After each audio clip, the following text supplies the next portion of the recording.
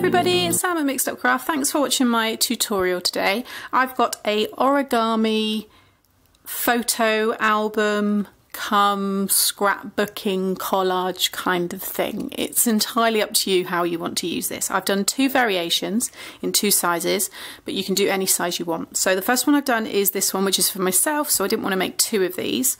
And this is using 8x8 paper, so it gives you a 4x4 square and I've just put it together with a little belly band. And this one is some um, home decor. So this is to hang from your wall. So you open it up and basically inside here I've filled it with some of my favourite wedding photos, all in black and white, which I've had lying around for some time. Now there are 10 of this one and then you can see the bottom there. So the idea is, is that this hangs down. I've got an area for it that I've already um, arranged in my craft room and then it will hang from this hook here. And I've just got a nice little quote there um, together is a beautiful place to be.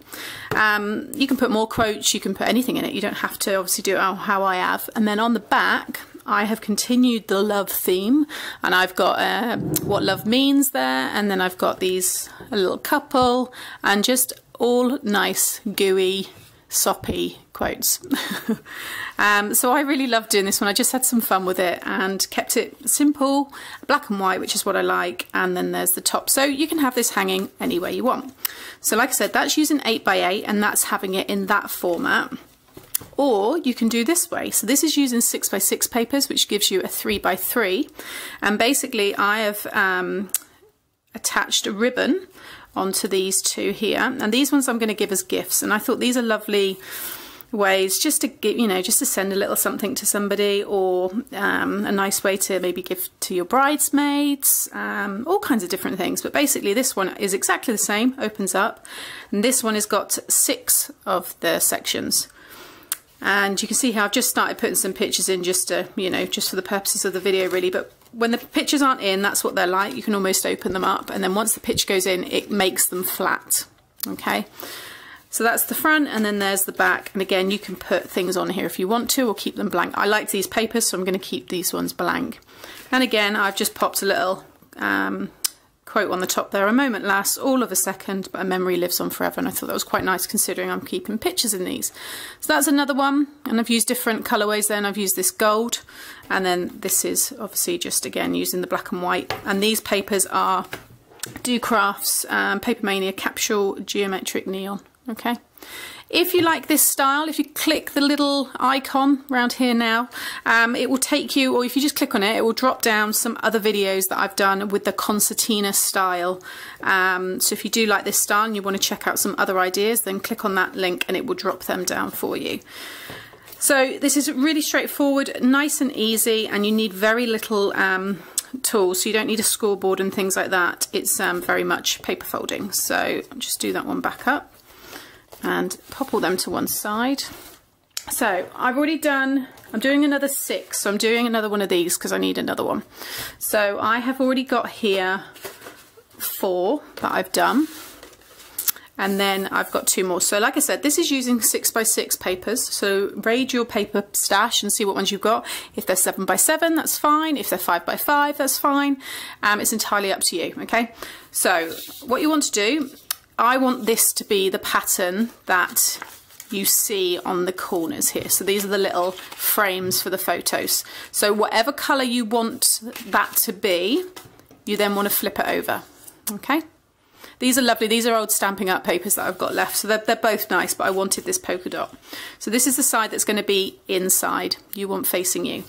And all you're going to do is fold, first of all, fold the paper in half, like so. Okay, and then you're going to fold in half again, so you're meeting that middle crease. Okay, then rotate it and fold it in half again.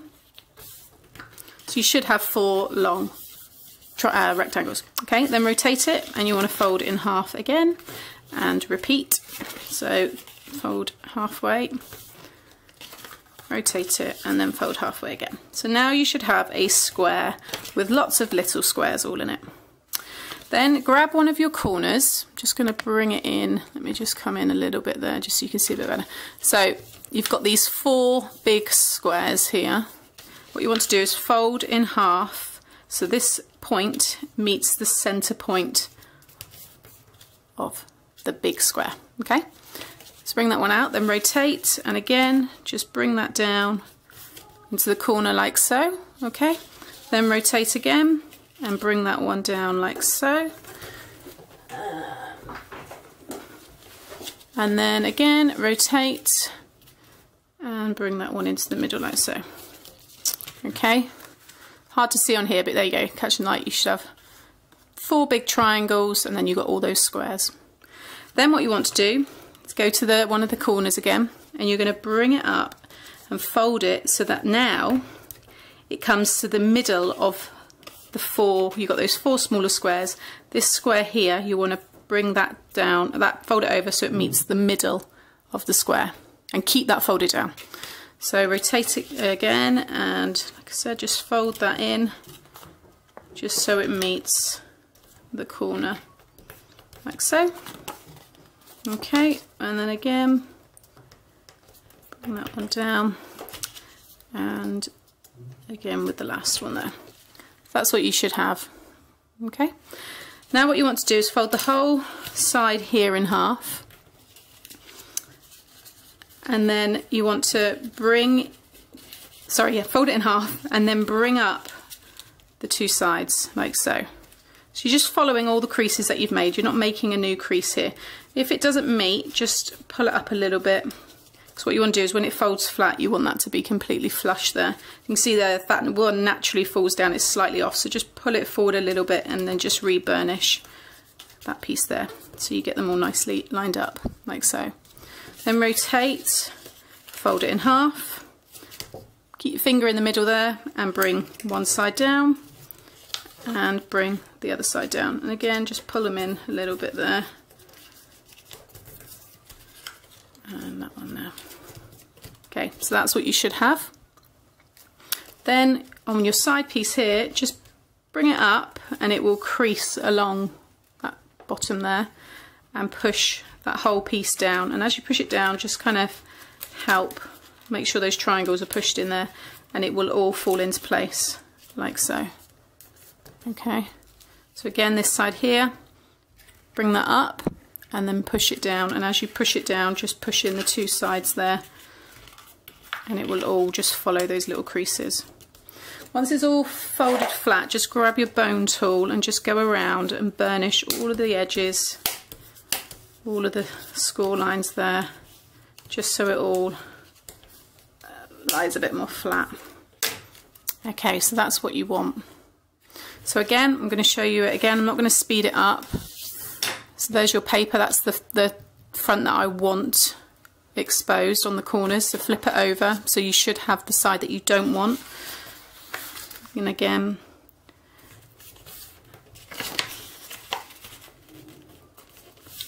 fold all of those lines first.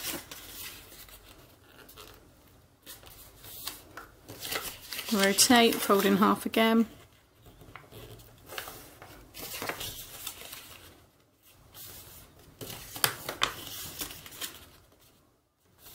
Okay, so you've got all of those squares. Then grab one of the corners and bring it in to the centre.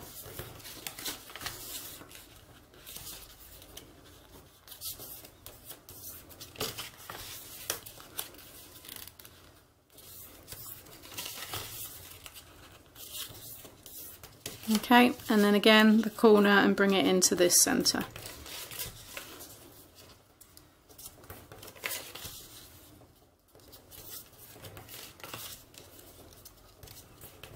Okay, then with the two here, fold it down, finger in the middle and bring each one over.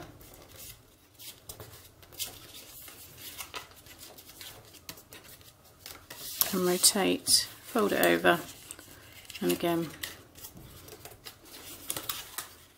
bring in each side. Like so. And then on the edge there you're just bringing it up making sure those triangles here are all in the corners and just bring it down and it should just follow along those lines. If it doesn't just help it along a little bit. And just burnish all those score lines again. Again, lift it up.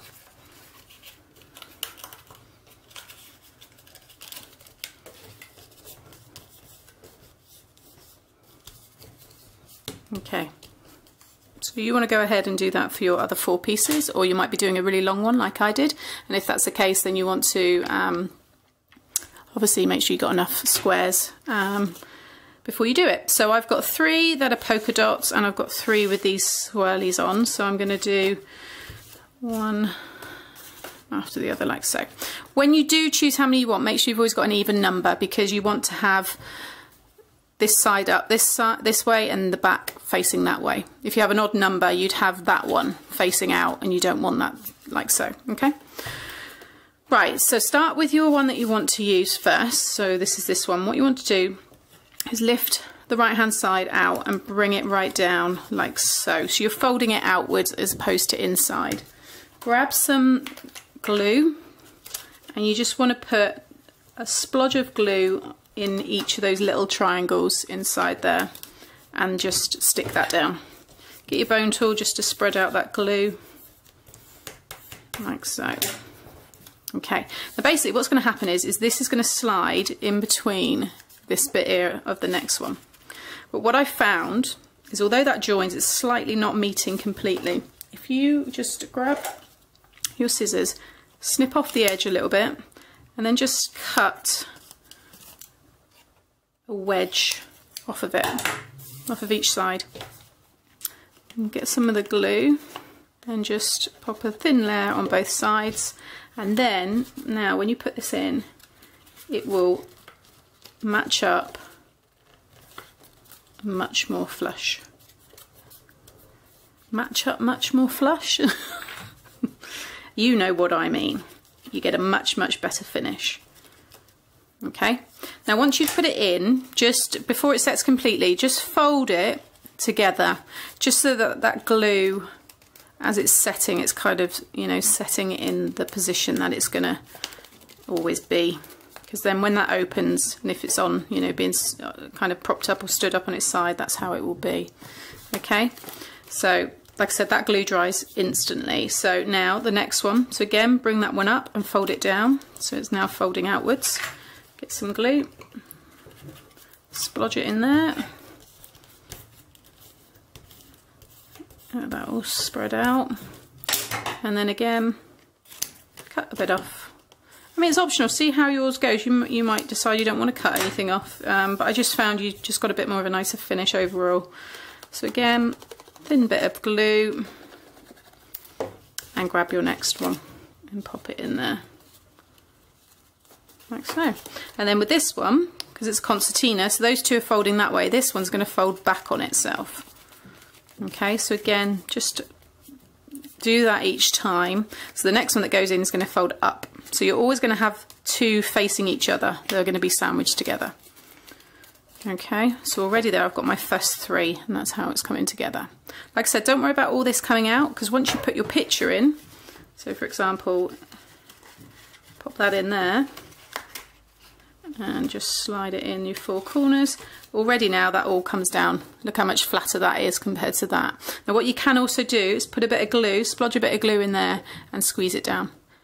Okay, but once you've done that, that means that's it then. You know, those are kind of set in there. So if you're keeping it for yourself, you maybe want to change them later on. I would say don't glue it, but if it's a gift to someone, then glue it down.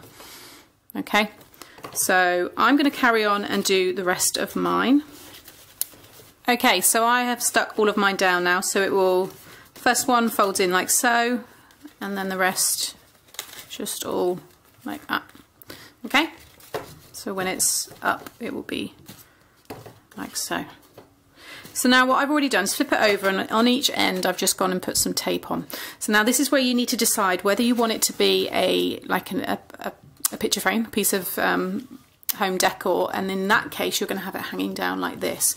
And what you want to do is you want to get your so I'll just use this piece here as an example is put some glue in either side of this end piece here and put your ribbon in either side and stick it down and that will give you your little hook to hang it on. So that's if you want to do it that way and then obviously you'll put your pictures in this way. So I, in this case I just rotate that picture that way. Okay? And that will give you this effect here. But I want to do those little pockets, so mine's going to be slightly different. So what you want to do is, you'll do this as well if you're doing the normal way. What I'm going to do now is stick down my two kind of toppers either end here. So I've just got these, plain one for the bottom, and then I've got this one for the top. So I know that this is my, my first one. So keep that one there. What you want to do is grab two bits of ribbon. So you'll need four pieces altogether, two for each end. And these measure um, six, just say six and a half, that'd be okay, all right? And then I'm just gonna take off, you just wanna stick one on about half an inch in, in the middle of the square on both sides, like so. Okay, these are velvet, so I've got the velvet side facing me. Then you want to, what I'll do is I'll just put another little bit of red tape over the top like so. velvet and then get your top and make sure if you've already got your sentiment on it's facing the right way. And you basically just want to lie this down because it will give you, this, these ones measure, so this is a 3 by 3 square and I just cut these from my nest of square framelits and this is 3 and 1 8 of an inch so it just gives you a nice overhang of 1 8 of an inch. So I'm going to just line this up just so that basically I've got a piece of it hanging over each side like so. Okay, and now you can see when that comes together, there's my top with the two pieces of ribbon on either side ready to tie up. So now rotate it so you've got this side you just want to do exactly the same.